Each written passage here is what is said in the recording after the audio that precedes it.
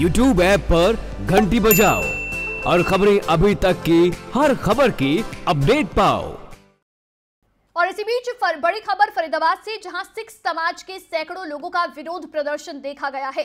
नानक शाह फकीर फ़िल्म के विरोध में ये प्रदर्शन कर रहे हैं सिख समाज के लोग और फ़िल्म पर प्रतिबंध लगाने के लिए राष्ट्रपति के नाम ज्ञापन भी सौंपा गया है। विशाखी पर रिलीज़ हो रही है ये फ़िल्म नानक शाह फकीर जिसका विरोध लगातार सिख समाज की ओर से किया जा रहा है। सिखों ने कहा कोई आम अभिनेता गुरु नहीं बन सकता है। सोची समझी साजिश के तहत गुरु पर फ़िल्म बनाई गई है। फ़िल्म पर प्रतिबंध नहीं लगा तो सिखों का उग्र प्रदर्शन होगा।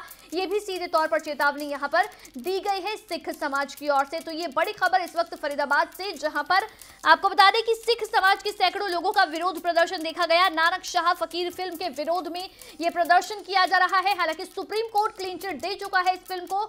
सुप्रीम कोर्ट तक ये पूरा मामला पहुँचा, लेकिन सुप्रीम कोर्ट ने इस फ़िल्म पर प्रतिबंध लगाने से इनकार कर दिया, जिसके बाद में अब सिख समाज के लोग सैकड़ों की संख्या में सड़कों पर उतरकर विरोध प्रदर्शन कर रहे हैं और फरीदाबाद में भी सिख समाज के सैकड़ों लोगों ने विरोध प्रदर्शन किया। इस दौरान नानक शाह फकीर फ़िल्म का विरोध कर रहे हैं। साथ ही फ़िल्म पर प्रतिबंध लगाने के लिए अब राष्ट्रपति के नाम ज्ञापन भी सौंपा गया है। विसाखी पर यह फ़िल्म रिलीज़ होनी है, लेकिन इससे पहले ही सिख समाज की ओर से लगातार इस फ़िल्म का विरोध किया जा रहा है और साथ ही सिखों का कहना है कि कोई भी आम अभिनेता गुरु नहीं बन सकता है। सोची समझी साजिश के तहत ये फ़िल्म बनाई गई है गुरु के ऊपर और साथ ही फ़िल्म पर प्रतिबंध अगर नहीं लगाया जाता है तो सिखों का प्रदर्शन उग्र हो जाएगा, ये भी सीधे तौर पर चेतावनी दी है।